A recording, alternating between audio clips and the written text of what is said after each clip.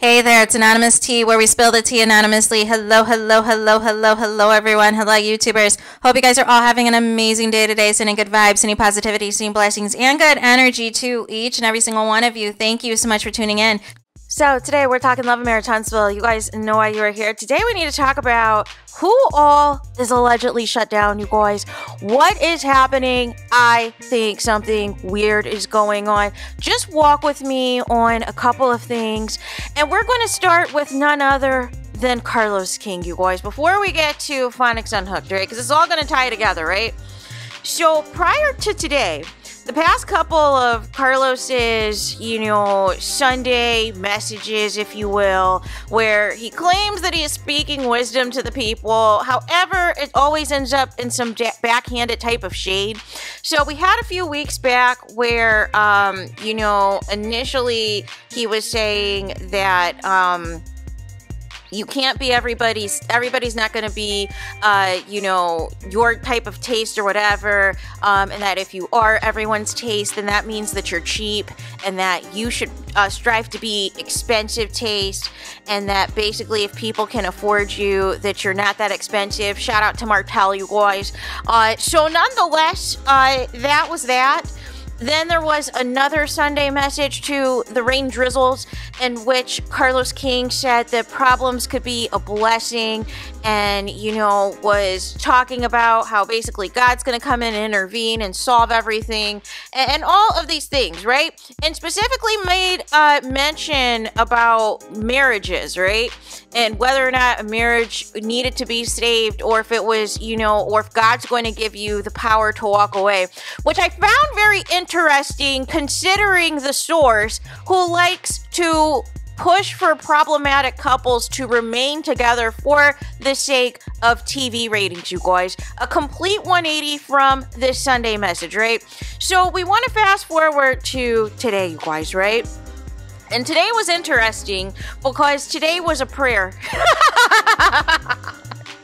Carlos King led in prayer, but walk with me, you guys. Walk with me on on how this flips, right? Because initially you think this is a September prayer. This is nothing but positivity. Carlos King finally gets it. It's all about, you know, understanding the assignment, not being too busy to take time for yourself and love on yourself and all those things and, and counting on God to make things happen on your own time and, and all these things, right? But then you remember as the video plays on that this is Carlos King. And then he's talking about we don't need to feel like, Lord, that we are always being punished uh, for feeling like we're being held accountable for things that we didn't do. And I was like, wait, wait, wait, wait, wait, what?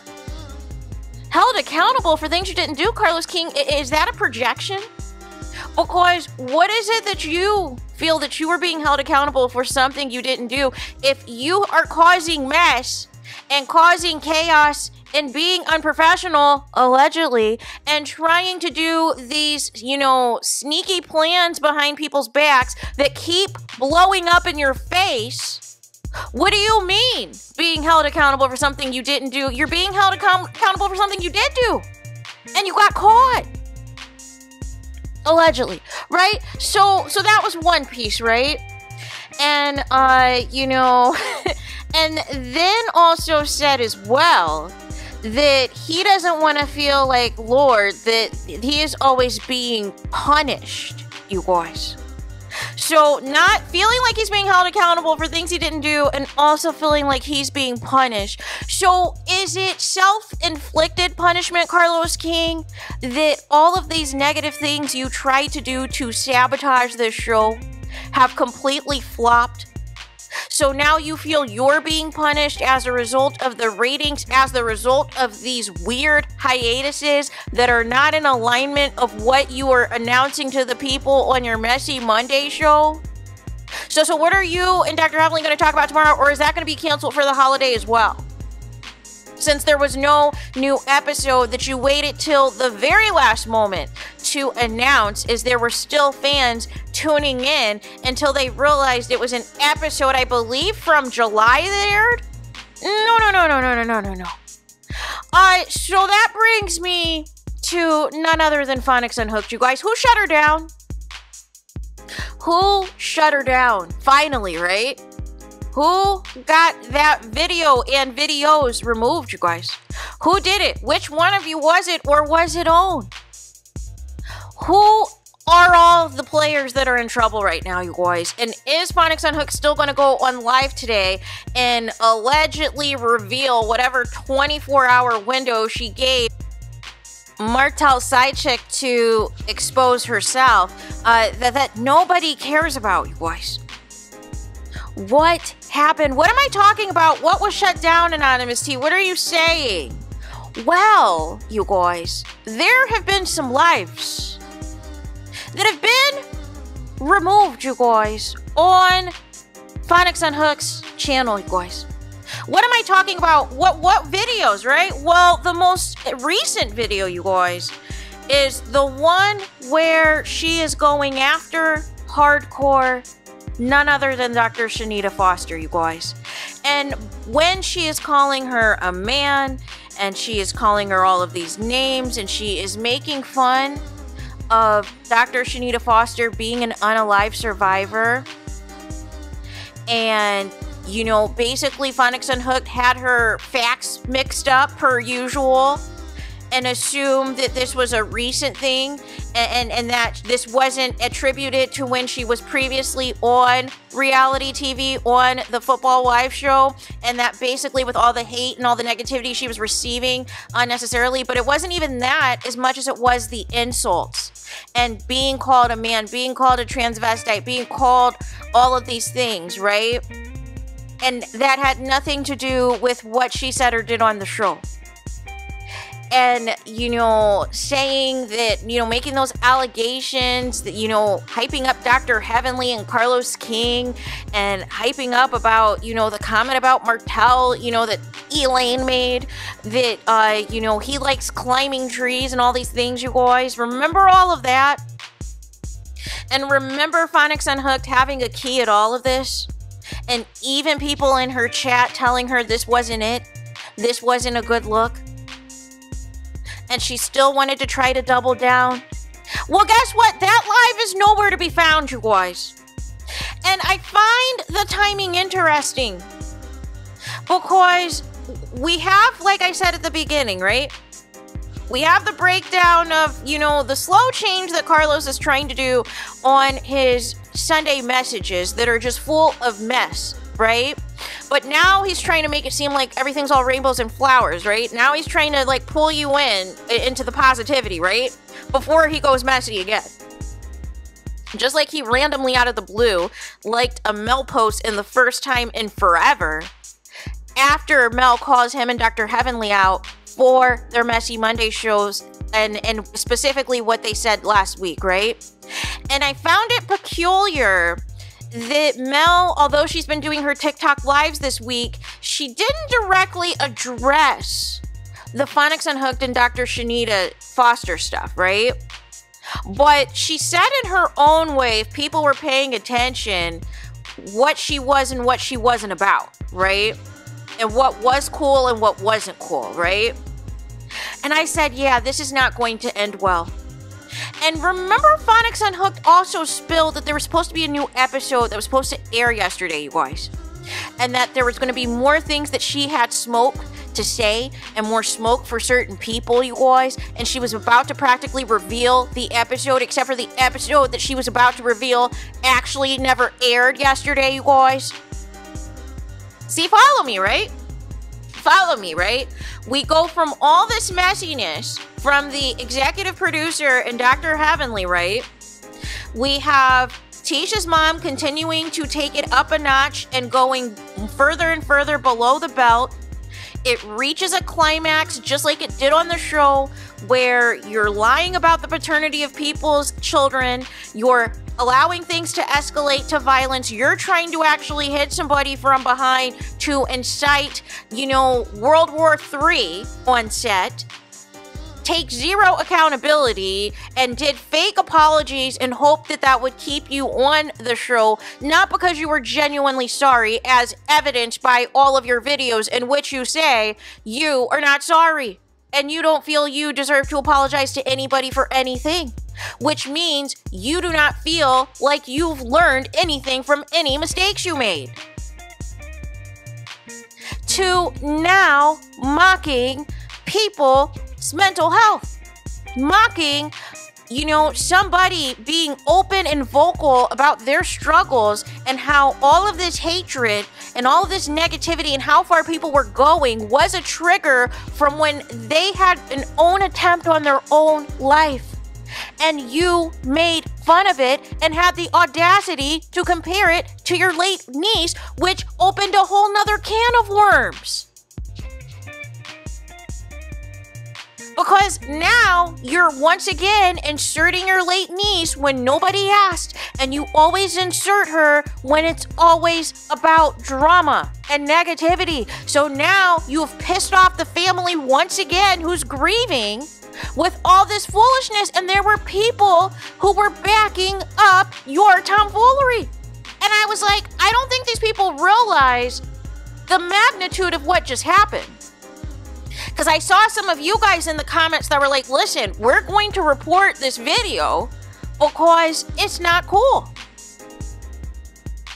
So, but it's not just this video. There have been some other videos that have been removed as well, you guys. And and and I feel like all of this is linked together. Because this is another example, whether Phonics Unhooked is on the show or not, she is a liability but it also ties into the negativity and the um, toxicity that Carlos King is running at the network with his shows. And then we have Winter from Love and Marriage DC, who I haven't even had an opportunity to even break that down yet. In which she is confirming a lot of the things that Mel is saying, and she's taking it a step further to expose more how down and dirty things are at OWN, at working, for Carlos King and Kingdom Reign, and how there were times, I believe she said, that there was one point in time where it took up to three months for them to receive a paycheck and that there was something else I believe that uh, because they were upset on one of their cast trips that they took, that the production people were not happy that they were not getting enough content that you know was negative or that was causing drama and this and that. They decided to change uh, the date of their trip and, and decided basically to kick them out of the trip early, and they all had to be responsible to find their own way home and their own transportation, their own flights home, and everything else because production was not happy that they thought that they were going to try to, you know, gaslight everybody and try to uh, get everybody to fight with each other and all these things. And when that didn't happen, decided to just send them home. Except for they had to be responsible to be sent home, which debunks the narrative. that production pays for everything that Tisha and her mom desperately want you guys to believe. And speaking of Tisha, Conveniently, you go live out of the blue when there's no new episode, Tisha, you and Kimmy. And it's interesting, right? Because as much as, you know, Phonics hooked and others hype up Martel, Tisha says it's still smoke for her and Martel she still has issues with him. He's not relevant to her, which would mean she's still pissed off at all the instigating that Martel's been doing, and now he's inserted Tisha in it and alleged that she hooked up with one of his boys. And also alleged, per that mid season trailer, if the show comes back, that Marsau and Martel allegedly were hooking up with the same women at the same time. But it seems only Tisha has this beef and wants to utilize the reunion to go at Martel. It seems that Marsau is fine still taking pictures with Martel as of last week when you had the vow renewal of, you know, Nell and Chris Fletcher. And I find it interesting. Everyone now is on an anniversary trip. Nobody has anything original. So, so Nell and Fletcher, they renew their vows, right? they're celebrating, you know, eh, whatever anniversary, right? And now all of a sudden, the Scotts 1.0 and 2.0 are on an anniversary trip. Oh, okay. All right. All right. whatever floats your boat, you guys. And then Tisha said that she's going to come out with T Squad merch. You know, the same family that spent all that time dragging Mel for releasing quote unquote t shirts, only for Marsau to be pictured in a black with a QUE t shirt everywhere he goes, including leaving for this romantic getaway.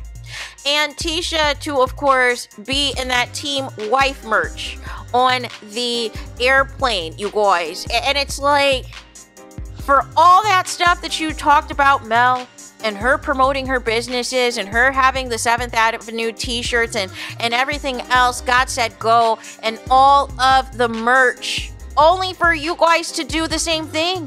When's the last time you guys wore a normal outfit to anything? You guys are in your black with the QUE t-shirts or, or in some other type of, you know, variation of it, right? Whether it's the black uh, uh, the black t-shirt with the white lettering or the white t-shirt with the black um, lettering or whatever. But you clown Mel for that and said that she just sold t-shirts.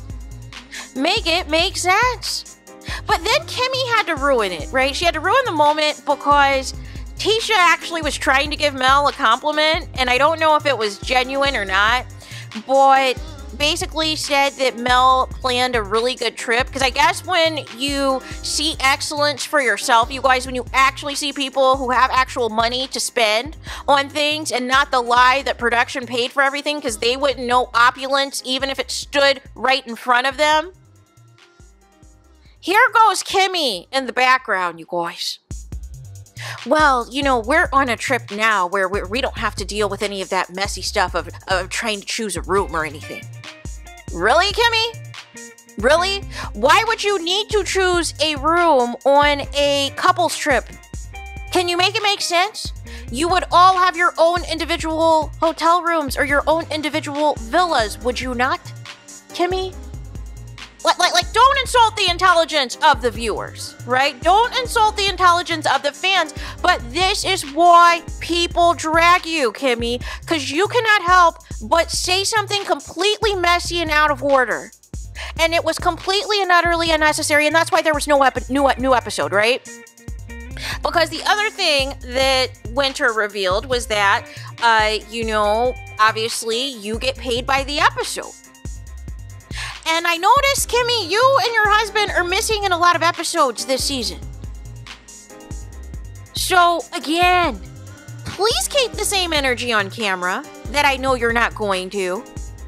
But nonetheless, uh, don't try to throw a conniption on the room thing, right? Because we can truly break this down if you want to. Really, if you really want to go there, right?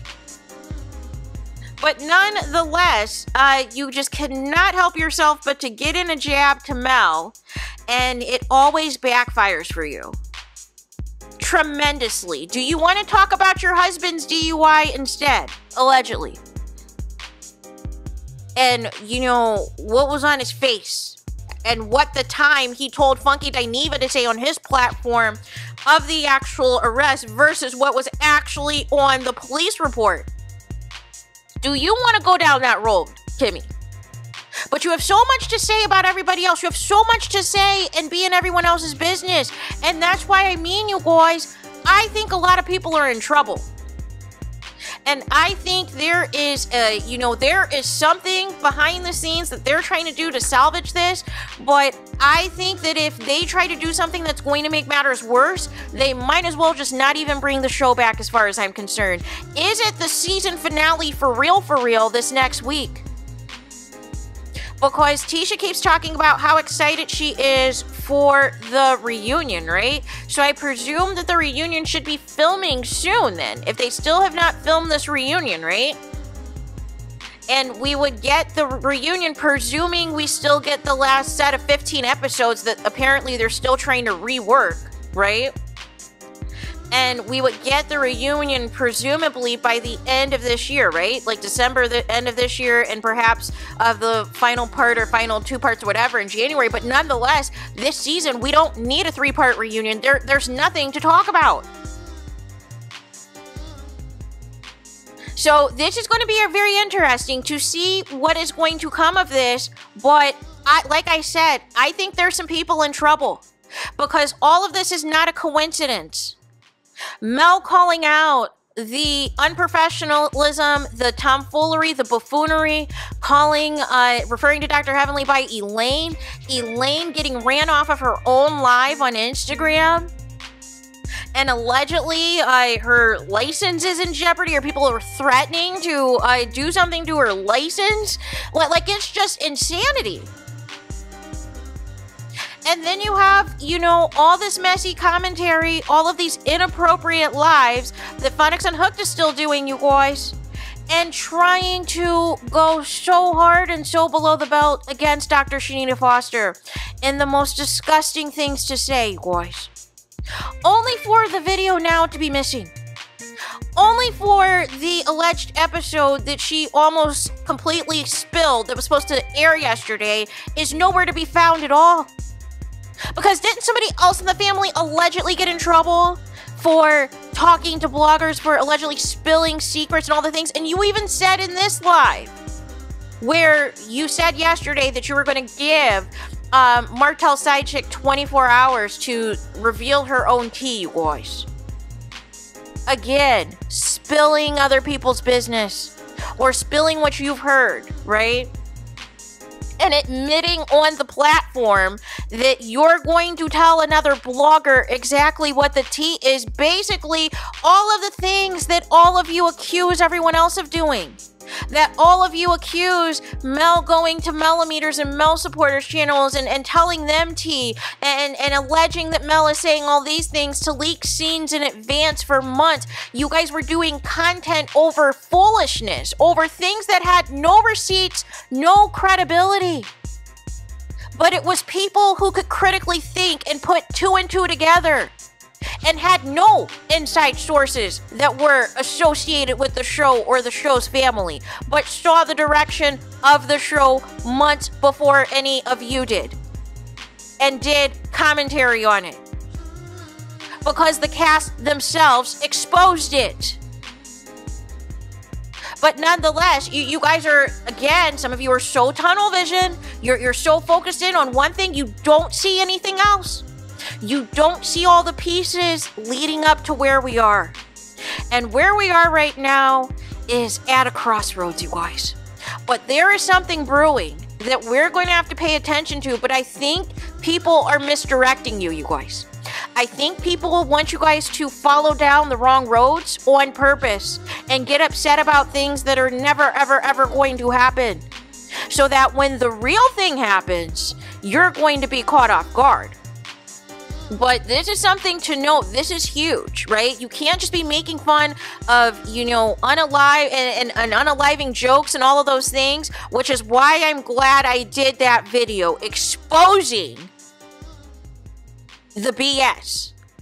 And people had the audacity to twist it around and make it seem like it wasn't a big deal what Phonics Unhooked said, only for that video to be removed, you guys. So there is that. Let me know your thoughts in the comments. Please do not forget to like, comment, and subscribe. Hit the notification bell so you're notified the moment I post new content on my channel. And with that being said, I'll talk to you guys again very soon.